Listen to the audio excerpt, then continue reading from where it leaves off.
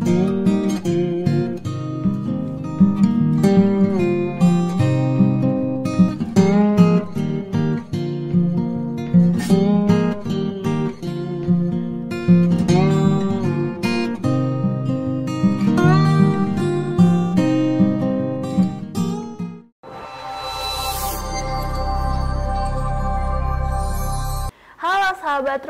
apa kabar? Selamat datang di segmen Tokoh Bicara. Di segmen ini kita akan ngobrol dengan narasumber. Oh, narasumbernya pasti keren banget nih sahabat Rubus. Aku sekarang berkesempatan untuk ngobrol bersama dengan perangkai bunga profesional. Dengan siapa dia? Dengan Ibu Lucia Raras. Apa kabar Ibu? Kabar baik. Gimana Mbak Titis kabarnya? Hai sahabat Trubus, bagaimana kabar Anda semua? Semoga semua sehat di mana pun Anda semua berada ya. Amin, amin, amin. Terima kasih banyak ya Ibu Raras. Kita nih uh, bersama dengan sahabat Trubus boleh main ke rumahnya Ibu Raras ada banyak bunga nih sahabat rubus di depan aku ada bunga. Di kanan dan di kiri ada bunga. Ini pas banget ya dengan uh, profesi Ibu Raras yang seorang perangkai bunga. Ibu Raras sendiri sudah lama jadi perangkai bunga Uh, lumayan lama ya Mbak Titis ya, kurang lebih 15 tahunan deh. Waduh. Mulai belajar bunga ya. Mm -hmm. Sebelumnya saya memang penyuka seni, penyuka mm -hmm. seni ya. Jadi apa namanya itu? Suka sekali dengan mm -hmm. segala macam bentuk seni gitu mm -hmm. ya. Nah, salah satunya seni merangkai bunga. Nah, ada banyak seni, tapi Ibu Raras lebih memilihnya adalah seni merangkai bunga. Padahal ada seni tari juga, seni lukis. Apakah bunga ini memiliki tempat tersendiri di hati Ibu Raras? Jadi sebetulnya apa pun bentuk seni itu, hmm. bentuk keindahan itu sebetulnya bagi saya adalah uh, membuat saya lebih dekat pada sang pencipta. Oh, okay. Saya sendiri dulunya suka sekali menari, mm saya suka melukis, mm gitu kan, dan berbagai bentuk uh, ungkapan seni yang lain. Mm Nah, terus kemudian dengan bergulirnya waktu, mm begitu saya ketemu dengan bunga-bunga dan daun-daun yang mm indah ini, jatuh cinta nggak bisa pindah ke lain hati. Waduh.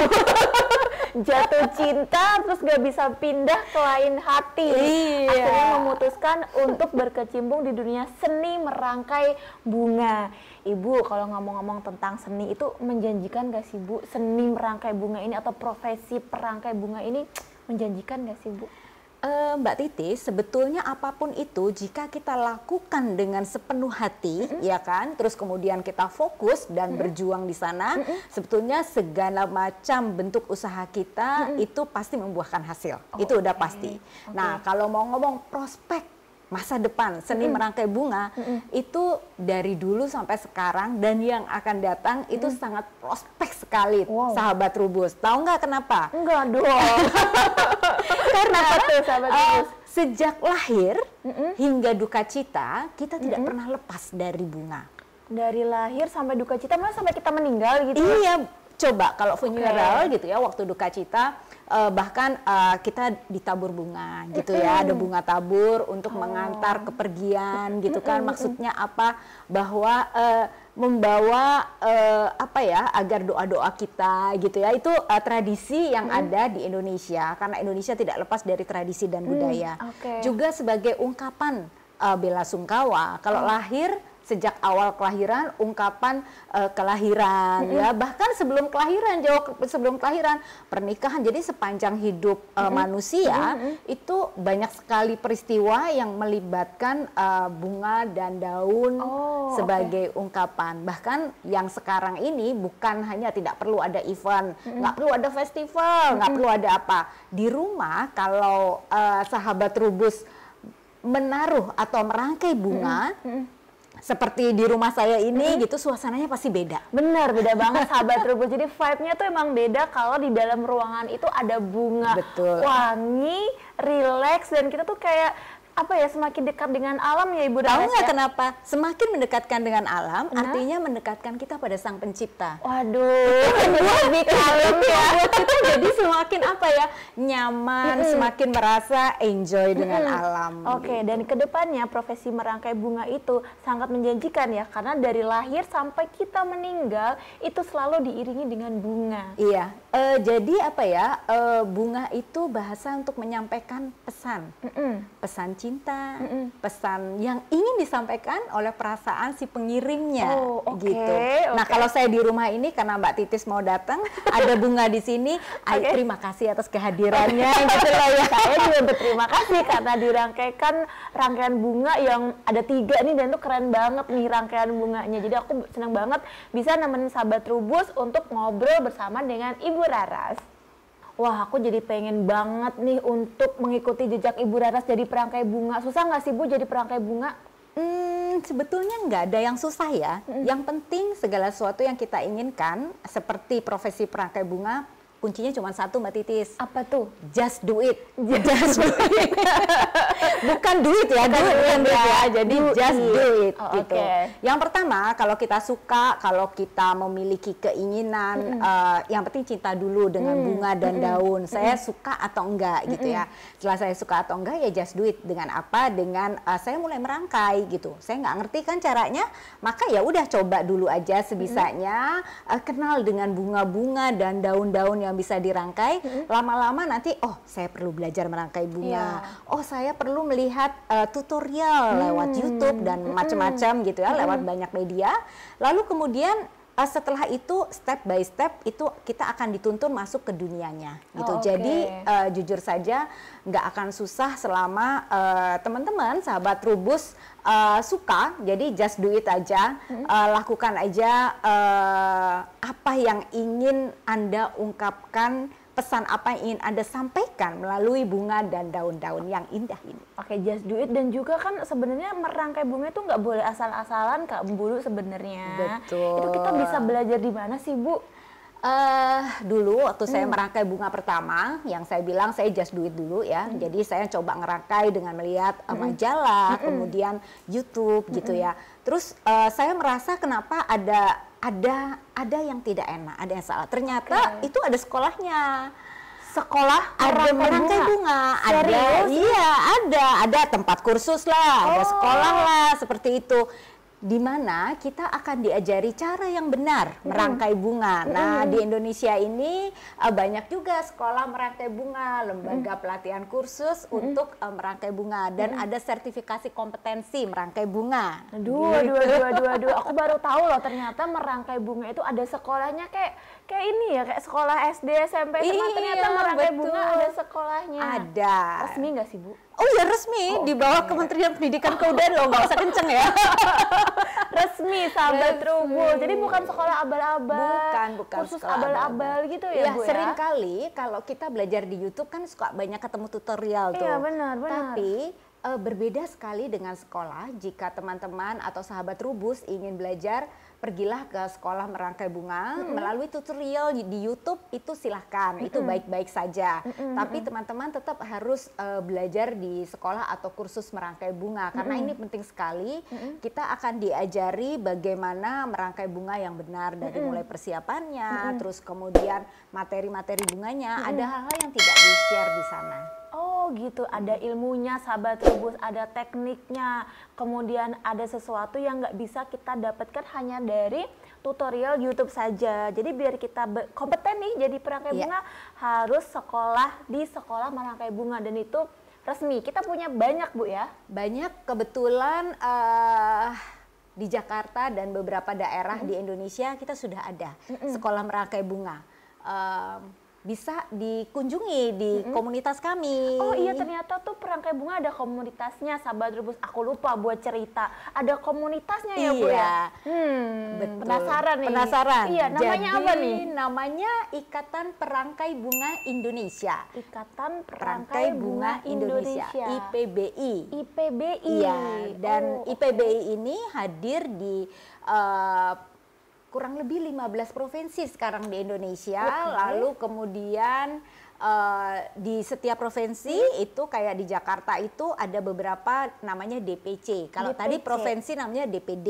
DPD. Nah, kemudian DPC. DPC oh, itu kalau di Jakarta tuh ya ada Jakarta Timur, Jakarta oh, Pusat. Hmm, nah, itu hmm. mereka semua uh, bisa memberikan info di mana harus belajar merangkai bunga. Hubungi aja, kunjungi aja Instagram oh. Ikatan Perangkai Bunga Indonesia gitu Ada jadi promosi kan. Oh nggak apa-apa. Oh berarti sahabat Trubus kalau pengen tahu sekolah merangkai bunga yang apa uh, kompeten, yang yeah. benar-benar legal, itu bisa kunjungi uh, Instagram IPBI, yeah. bisa kita bisa pengen tahu apa ya eh, IPBI itu apa sih di dalamnya itu ada di situ ya Bu ya? Ada. Kalau misalnya ada info yang tidak kami share di sana, hmm. silakan teman-teman DM di uh, apa inboxnya. Hmm. Nanti akan ada teman-teman kami yang menjawab uh, kebutuhan Anda. Dan oh oh, sahabat Rubus perlu tahu, Ketua Ikatan Perangkai Bunga Indonesia adalah Ibu Rara. Terima kasih. Saya uh, ini periode kedua Mbak Titi. Iya, jadi udah dua kali ya Bu ya. Udah dua kali. Oh. Habis ini kita harus ada generasi muda yang mm -hmm. maju mm -hmm. untuk uh, menggantikan kami-kami gitu ya, terutama generasi muda yang apa ya milenial. Milenial. Milenial. Ibu Rara juga milenial. Saya kolonial.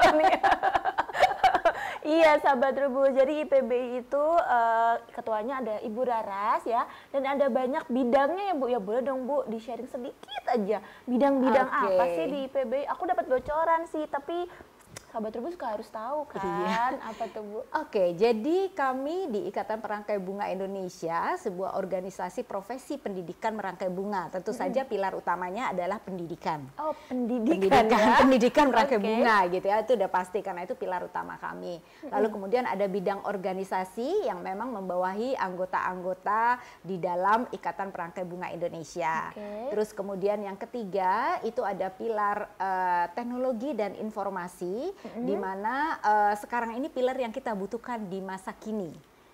Pilar karena digital, oh, kemudian okay. ini isinya teman-teman muda semua oh. nih, teman-teman okay. muda yang semuanya banget. Iya dan uh, mereka sudah uh, terbiasa dengan bahasa-bahasa uh, media sosial mm-hmm. gitu kan, terus uh, digital, teknologi, sistem dan sebagainya. Karena nanti ke depannya uh, tanpa teknologi uh, tanpa teknologi ini kita uh, nggak akan maju ya karena ya, kita benar. harus sadar bahwa dunia digital ini membawa kita menembus ruang, ruang. dan waktu oh. gitu. Satu lagi yang terakhir adalah bidang usaha di mana uh, kita setiap anggota kita itu juga uh, salah satu sorry salah satu visi IPBI adalah mensejahterakan gitu ya, mm -hmm. mensejahterakan masyarakat. Mm -hmm. Nah, untuk itu salah satu pilar usaha ini menjadi um, apa memikirkan profesi perangkai bunga ini akan berkembang ke arah mana mm-hmm. uh, bukan hanya menjadi dekorator bukan mm-hmm. hanya menjadi floral designer mm-hmm. tapi juga banyak lagi profesi di dalam mm-hmm. uh, dunia merangkai bunga ini oh, ada banyak kalau misalnya pengen jadi anggota IPBI harus bisa merangkai bunga nggak sih bu atau semua orang boleh nih asal punya kecintaan terhadap bunga, terhadap dunia apa ya merangkai bunga, seni merangkai bunga tuh boleh masuk gitu atau syaratnya tuh ketat banget nih wah nggak boleh nih kalau nggak suka bunga gitu. Uh, tentu saja tidak, tentu saja mudah sekali jika anda ingin bergabung menjadi Ikatan Perangkai Bunga Indonesia, hmm. kami persilahkan hubungi juga tadi di Instagramnya hmm. yang paling mudah oleh umum hmm. untuk dicapai. Hmm. Uh, kita nggak ada syarat susah-susah, oh. jadi setiap DPC itu uh, yang penting kita memiliki kecintaan kecintaan akan bunga. Okay. Namun demikian itu adalah standar yang paling dasar. Okay. Maksudnya, nah kalau anda ingin profesional, tentu saja memiliki keanggotaan khusus gitu mm -hmm. ya. Yang keanggotaan khusus tentu saja uh, berbeda. Uh, berbeda dapatnya, mm -hmm. tapi juga berbeda cara uh, mendapatkannya. Maksudnya okay. untuk disebut profesional itu kan ada syarat-syaratnya, mm -hmm. gitu. Nggak bisa kalau misalnya uh, dokter uh, contoh saja ya di dokter gitu kan dokter kan harus uh, lulus dulu kedokteran hmm. baru bisa praktek ya iya, gitu benar, kan dan benar. baru diakui sebagai dokter profesional oh, gitu kan okay. lah kalau saya baru kuliah kedokteran kan nggak belum bisa disebut dokter belum, gitu belum. belum tapi apakah anda boleh masuk tergabung dalam komunitas dokter boleh saja boleh. nah sama seperti perangkai oh, bunga okay. Indonesia jadi kalau teman-teman saya pingin ikut yang uh, jalur profesional silahkan saya pingin yang uh, happy happy uh, gembira okay. ria gitu ya di tim profesional juga gembira ria ya. Cuman memang lebih karena mereka lebih fokus ya, kemudian itu jadi uh, seperti ingin uh, pembelajaran yang lebih tingkatnya advance lagi pingin belajar ke luar negeri kita uh, punya jalur-jalur kita siapkan untuk teman-teman ingin uh, bekerja sama dengan IPBI, hmm. banyak merchant, banyak uh, bidang usaha kita juga uh, bekerja sama dengan IPBI. Hmm. Uh, tentu saja yang profesional ini akan mendapatkan banyak kesempatan untuk itu. Wah seru banget. Jadi aku nih yang belum bisa merangkai bunga bisa join untuk jadi anggota IPBI ya Bu ya. Sip. Oke, okay, teman-teman Trubus juga boleh kalau teman-teman ingin uh, menjadi anggota IPBI, hmm. silahkan dengan uh, terbuka kami yeah. uh, menerima kehadiran Anda semua gitu kan. Nanti uh, kalau Anda DM di Instagram IPBI, Anda akan disarankan menghubungi DPC tempat terdekat dengan rumah tinggal Anda. Wah, aku jadi tertarik nih. Aku akan cepet-cepet buat DM Instagramnya IPBI bahwa aku pengen jadi anggota IPBI ini karena aku suka banget bunga walaupun belum bisa merangkai bunga. Nanti setelah saya DM Instagramnya Ikatan Perangkai Bunga Indonesia pasti akan dibales kan Bu ya? Oh sudah pasti, nggak nggak mungkin dicuekin. Takutnya dicuekin nih karena ini siapa nih uh, mau maunya apa berani beraninya uh, buat DM Instagram Ikatan Perangkai Bunga, tapi itu tidak mungkin karena adminnya ramah-ramah ya Bu ya. Ramah-ramah sekali. Ngomong-ngomong tadi Bu tentang wirausaha, aku tuh suka kepikiran kalau misalnya tentang wirausaha tuh kepalanya tuh langsung ke arah uh, apa namanya yang namanya bisnis gitu Ibu. Oke. Okay. Nah rangkaian bunga itu kan nggak jauh-jauh dari yang namanya petani bunga pasti dong bu. Iya. Nah rangkaian bunga atau profesi perangai bunga itu kan kayaknya mm, lebih ke hilir banget gitu. Iya. Itu memberikan pengaruh nyata nggak sih bu kepada para petani bunga kita apalagi majalah Trubus ini kan uh, banyaknya mengungkap tentang budidaya uh, apa namanya budidaya sebuah tanaman baik tanaman hias, tanaman buah maupun tanaman perkebunan. Nah, apakah dunia merangkai bunga itu memberikan dampak nyata terhadap petani-petani kita atau malah sebaliknya ini. Gimana ini sahabat Trubus? Kita nah, tanyakan aja ya. Sambil uh, saya jelaskan Mbak Titis monggo oh, silakan iya, diminum loh. Ini tehnya kasih. sambil diminum saya. sampai lupa kalau di depan ada teh. Saya iya, minum dulu ya. Iya, silakan, silakan. Jadi gini Mbak Titis, uh, apa namanya uh, dunia merangkai bunga ini betul seperti yang Mbak Titis uh, katakan ini berada di dalam sebuah ekosistem besar florikultura. Mm. Nah berada di hilir yang di hulu adalah petani, mm. ada bibit, mm. uh, pupuk, mm. terus kemudian macam-macam mm. yang uh, berhubungan dengan pertanian, perkebunan dan sebagainya. Mm. Karena menjadi bagian dari ekosistem besar florikultura, tentu saja saling berdampak. Maksudnya hmm. gini, kalau petani menanam uh, bunga dan daun potong, tentu hmm. saja gitu kan, maka uh, yang menggunakan sebelum ke tangan customer hmm. itu adalah perangkai bunga. Oh oke. Okay. Kalau misalnya mawar dari petani, contoh ya, hmm. ini contoh, uh, dijual dengan harga 70.000 misalnya hmm. atau 80.000. Hmm. Setelah di tangan perangkai bunga harganya bisa berubah. Naik. Artinya okay. Perangkai bunga menambah edit value hmm. dari bunga tersebut, hmm, hmm, ya hmm, kan? Sehingga dibawa ke tangan customer, customer happy, lalu pesen lagi. Hmm. Nah, hmm. karena customer happy pesen lagi, uh, perangkai bunga pesennya ke siapa? Ke petani, petani. dong. Iya, betul. Nah, pasti kan berhubungan hmm. dan itu bukan hanya petani saja, tapi juga ada uh, bahan-bahan, ada transportasi, hmm. ada pengepakan dan sebagainya. Ini sebuah rantai uh, yang cukup panjang, oh, rantai okay. nilai lah boleh dibilang oh, gitu okay, ya. Okay, okay. Nah, terus kemudian uh, jadi kita semua sama-sama berjuang untuk industri yang cukup besar dan melibatkan cukup banyak uh, stakeholder. masyarakat, stakeholder hmm. dan juga uh, petani dan sebagainya cukup besar sekali. Oh, nah, terus kemudian nggak bisa dianggap remeh. Nggak bisa dianggap remeh hmm, gitu dan kemudian kalau kami perangkai bunga ini uh, lebih sering kalau saya boleh bilang Mbak Titis menjadi duta. Duta, duta ambassador. Enggak, duta bunga. Nah, duta bunga. Contoh saya punya teman gitu ya, hmm. yang namanya Grace Yanuar, salah satu perangkai bunga oh, kita okay, gitu. Ya. Okay. Dia suka merangkai dengan baby spread. Oke. Okay. Maka kebutuhan baby spread jadi naik. Nah, karena Ibu Grace tadi. Karena Ibu Grace dengan suka baby dengan baby spread yang oh. dia punya identik ngerangkai bunga selalu dengan baby spread, misalnya mm -hmm. begitu. Maka kebutuhannya uh, akhirnya orang tertular dia menjadi duta atau oh. dia dia juga, okay. dia sendiri juga menjadi duta anggrek bulan dari uh, salah satu amba, uh, brand gitu itu ya. Secara tidak langsung secara ya. Secara tidak oh, langsung oh, kan dia menjadi duta. Jadi nah iya, dia kemudian menjadi duta hmm. untuk uh, bunga anggrek bulan hmm, gitu kan. Nah, setelah itu apa kebutuhan anggrek bulan ini jadi naik, naik. juga gitu kan. Okay, nah, siap. siapa yang akhirnya mendapatkan dampak ya petani Tani. juga. Oh. Uh, bukan hanya petani, hmm. tapi juga uh, yang mensupport bawa anggrek bulannya sampai ke pedagang oh. lah juga ikut berimpact dong kalau banyak gitu iya. kan dan oh. seterusnya uh, sampai kawat-kawat bunga, kebutuhannya itu juga ikut berdampak. Perintilan, oh. aksesorisnya, kemudian uh, teknik dan mekaniknya itu juga ikut uh, menjadi satu kebutuhan. Oh, nah, okay. jadi ada dua cara nih kalau kita mau menggerakkan sebuah ekosistem. Petani menanam, kemudian titip, bukan titip ya, kemudian dipromosikan oleh perangkai bunga atau sebaliknya hmm. perangkai bunga menemukan kebutuhan minta tolong petani tolong dong tanemin kebutuhan aku. Kebutuhan aku sekarang banyak contoh nih hydrangea misalnya. Mm. Aku bulan depan mau atau enam bulan lagi mau pakai hydrangea seribu tangkai misalnya. Mm. Tanemin dong gitu kan mm -hmm. ya aku mau hidrangeanya warnanya biru jadi aku nanamnya mestinya dari mulai kapan oh, pesennya dari mulai kapan okay. nah itu permintaannya ke petani oh, okay. itu makanya salah sekali kalau seandainya uh, ekosistem ini tidak diperhatikan hmm. dan tidak ada komunikasi satu hmm. dengan yang lain hmm. karena kebutuhannya sebetulnya saling uh, me, apa ya saling mendorong. Mm -hmm. Contoh lagi nih, ini uh, butuh kalau yang ini butuh campur tangan pihak lain yang lebih besar dalam mm -hmm. hal ini pemerintah misalnya mengadakan festival gitu kan festival, festival. nah hmm. festival misalnya festival bunga anggrek bulan misalnya hmm. gitu ya hmm. hmm, hmm festival bunga anggrek bulan hmm. uh,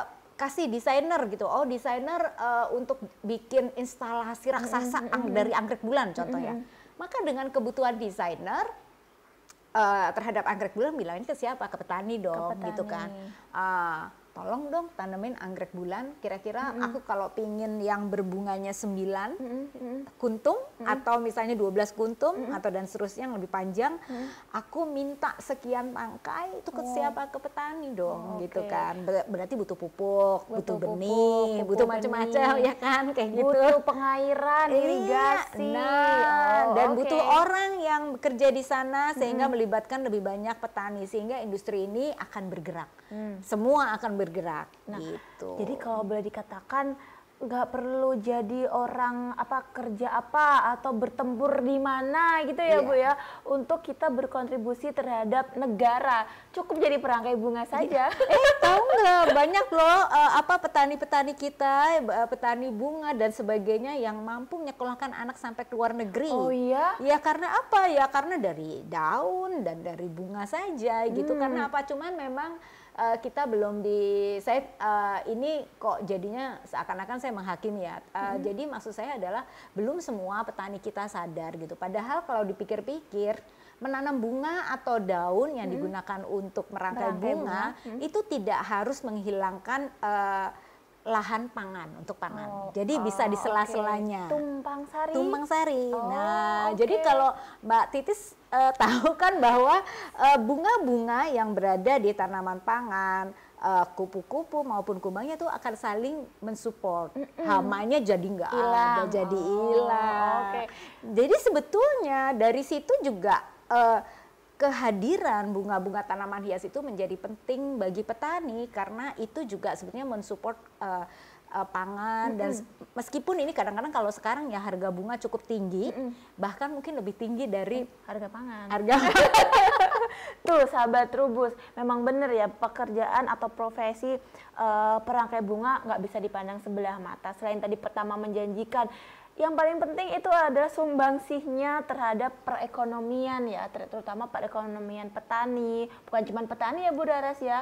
Tadi sebelum sampai ke apa namanya end user ada banyak titik-titik yang kita lewati dan itu apa ya menghidupkan denyut perekonomian ya Ibu betul Daras ya. sekali, betul sekali dan ini uh, salah satu tanggung jawab kita sebagai warga negara Indonesia hmm, hmm, hmm. untuk bukan hanya uh, mensejahterakan diri sendiri, tapi, tapi kita, juga perlu peduli terhadap orang, orang lain. Waduh, ini filosofi perangkai bunga dalam banget sih Ibu Raras.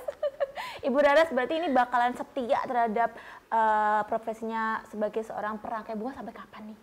Uh, terus saya kira karena tadi saya bilang udah jatuh cinta ya. Jatuh cinta. Jadi kalau orang itu pertama tak kenal maka tak sayang, Betul. ya kan? Kenal Setelah kenal jatuh cinta nggak bisa pindah ke lain hati, ya kan? Setelah itu saya jadi kalau orang bilang tuh edik ya Edik, maniak kecanduan. udah kecanduan dan udah uh, saya merasa ini adalah dunia perutusan saya di mana memang uh, di sinilah saya akan berkarya gitu. Jadi Lucia Raras kecanduan merangkai bunga. Yes.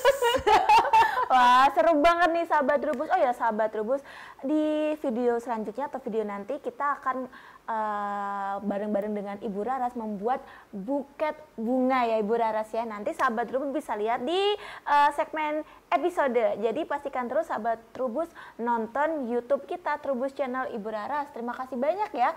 Kita sudah diizinkan untuk ngobrol, untuk main di rumah Ibu Raras. Kapan-kapan Trubus kalau mau main lagi boleh? Ah, boleh dengan senang hati. Ayo kita sama-sama memajukan dunia Merangkai bunga. dunia merangkai bunga dan industri florikultura tentu saja. Oke. Senang sekali ketemu dengan sahabat Trubus. Terima kasih Mbak Titis Terima atas kasih kehadirannya. banyak. Kita yang terima kasih sahabat Trubus. Jangan lupa ya untuk selalu menonton Trubus Channel. Terima kasih banyak Ibu Rara. Sama-sama. Terima kasih banyak sahabat Trubus. Ya.